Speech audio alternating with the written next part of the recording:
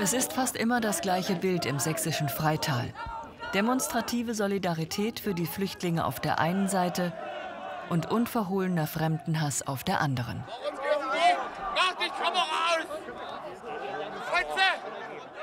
Seit März dominiert auf der Straße die Wut.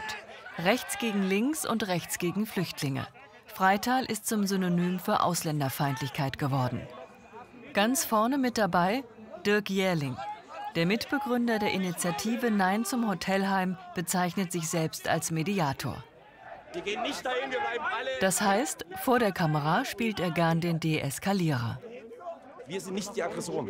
Was ihr jetzt filmt, was ihr jetzt alles seht, ist einfach Aufgebrachtheit, weil da Leute aus Leipzig, aus Frankfurt, aus Halle irgendwo, irgendwo angekarrt werden. Das sind keine Freitaler. Das sind Freitaler. Das sind keine Freitaler. Es ist doch keiner aus Freitag da. Doch der Betreiber eines rechten Szenetreffs kann auch anders. Seine Hetztiraden gegen Einwanderer so zahllos wie einfältig. Fakt ist, wenn das deutsche Volk sich nicht jetzt wehrt, wird es in 30 Jahren kein deutsches Volk mehr geben. Das ist Fakt. Es wird ausgetauscht und am Ende wird der Rest noch gebeten zu gehen oder in Reservate gesteckt. Das klingt alles nach einem schlechten Film. Aber die Geschichte zeigt uns klar, dass es dieses alles schon gegeben hat. Siehe die amerikanischen Ureinwohner und den jetzigen Amerikaner, der hat genau das stattgefunden. Sein Hass richtet sich gegen das Hotel Leonardo, Unterkunft für fast 300 Flüchtlinge. Viele haben Krieg und Vertreibung erlebt. Mit Freital haben sie nicht gerechnet. Uns sind schreckliche Dinge zugestoßen. Wir wollen einfach nur in Frieden leben. Wir wollen uns ein Leben aufbauen, verstehen Sie? Fühlen Sie sich sicher hier? In dieser Gegend nicht so sehr. Kein Wunder. Ob durch Symbole oder Parolen, in Freital zeigt sich der Deutsche momentan von seiner hässlichen Seite. Nicht alle, aber einige. Warte mal ab, du Nicker! Verpiss dich, Alter! Was seid denn hier für Kinderficker? Scheiß Dinge, Fotze, Alter! Verpiss dich! Ja, verpisst euch! Was ist denn los hier? Die haben Fotografie! Was bist denn du für einer? Lutscher! Mit den Medien kennt man sich aus. Guten Tag, meine Herrschaft. Mein Name ist Lorek, Rechtsanwalt aus Dresden. Es gibt einige Herrschaften dort drüben auf der anderen Seite, die sich von ihren Filmen belästigt fühlen. Ich hätte die große Bitte, dass Sie das einstellen. Das dort drüben ist keine politische Veranstaltung, es ist auch keine Person der Zeitgeschichte hier. Hm? Es sollte immer eine große Freude sein, an den Fotoaufnahmen, die Sie machen, zu verdienen. Sie verletzen das Kunststil, 23 Kunsturhebergesetz und machen sich strafbar. Angesichts der Lage wurde rund um das Flüchtlingsheim ein Versammlungsverbot erlassen. Die Übergriffe im Internet lassen sich dadurch nicht abstellen. Das Internet ist momentan, Facebook ist momentan ein Problem, das zu Eskalationen führt, die hinterher nicht mehr beherrschbar sind, weil der Verbalradikalismus, äh, der hier anonym an den Tag gelegt werden kann, zu riesigen Problemen führt. Beispiele dafür finden sich genug. Abschieben ist scheiße, abknallen ist die richtige Lösung. Oder einfach mit einer Stahlrute immer wieder in diese Dreckskanackenfressen schlagen, bis der Schädel blutet. Oder auch in Buchenwald, Auschwitz und Sachsenhausen ist noch genug Platz. Wer schreibt sowas? Einer von ihnen heißt Klaus Wenzel. Laut Facebook arbeitet er bei Biotech, einem Verein zur Wiedereingliederung von Langzeitarbeitslosen in Freital. Wir machen uns auf die Suche nach ihm und stoßen vor der Einrichtung auf seinen ebenso freundlichen wie geschockten Arbeitgeber. Der Klaus Wenzel, der auf der Facebook-Seite angegeben hat, dass er bei Ihnen eben arbeitet. Das, dann ist es ein 1-Euro-Jobber, genau. Genau, der hat äh, unter anderem auch äh, gefordert, auf Facebook doch die äh, KZs wieder aufzumachen. Um Gottes Willen.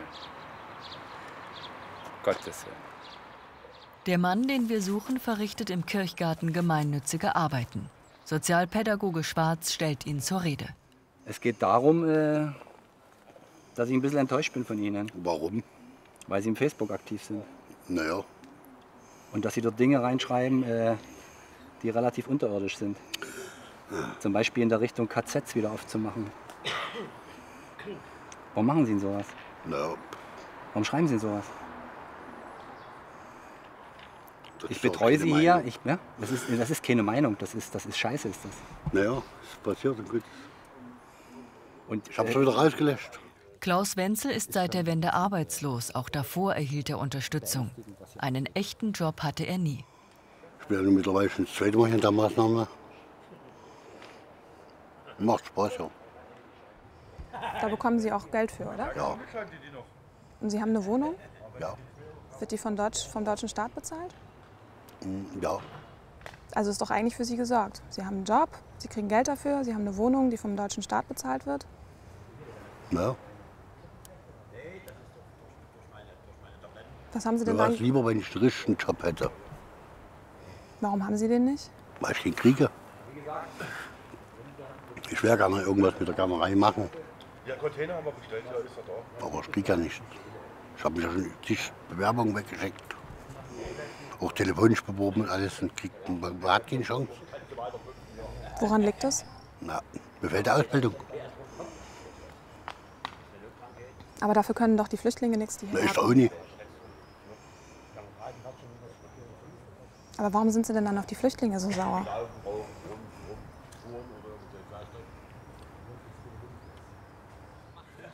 Eine Antwort darauf bleibt er schuldig. Wahrscheinlich, weil es keine gibt.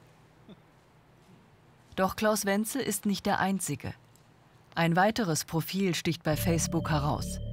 Mike Hess postet, bin auch der Meinung, dass ich die Kanaken hier nicht brauche. Genauso wenig das verlogene deutsche Politikertum.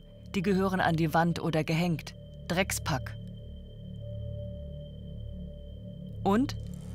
Im Mittelalter hat man solche Häuser niedergebrannt, habe ich in Geschichte gelernt.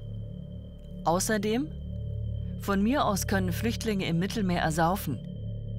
Wenn das Mittelmeer zu Europa gehört, dann hat das Mittelmeer genug Flüchtlinge für Europa aufgenommen. Ha ha ha. Wer steckt hinter Mike Hess? Das Facebook-Profil lässt Rückschlüsse auf einen jungen Mann zu. Wir treffen ihn in einer Bar in Freital. Mit Bier und Freunden. Hallo, guten Tag. Darf ich Sie kurz was fragen? Sie sind doch oder? Nee. Sind Sie nicht? Wir wollen ja gar nicht reden mit Ihnen. Oder auch Mike Hess, wenn ich richtig informiert bin, oder? Keine Ahnung. Reden Sie? Richtung, Richtung Süden. Ich würde verschwinden an eurer Stelle. Die Bar gehört doch Ihrem Bruder, ich oder? will doch nicht aufgenommen werden, oder? Aber Sie sind Mike Hess. Nee. Wer sagt denn das? Sind Sie Nee. Ja, der ja, aber Mike Hesse. Rechts außen scheint man nicht zu verstehen, warum Menschen wie die schwangere Shaza und ihr Mann Ahmed von Syrien nach Deutschland geflohen sind. Es war der Wunsch nach Frieden. Jetzt erleben sie, dass Freital mit Freiheit nur wenig zu tun hat. Freital ist eine schöne Stadt, aber die Menschen hier sind nicht so freundlich. Vielleicht steht es ihnen zu, aber sie richten über uns. Dabei sollten sie uns nicht anhand unseres Aussehens beurteilen, sondern uns eine Chance geben und herausfinden, ob wir gute Menschen sind oder nicht. Nächstes Jahr soll eine neue Asylunterkunft in Freital entstehen. Die Hetze dagegen, im Internet und auf der Straße, hat bereits begonnen.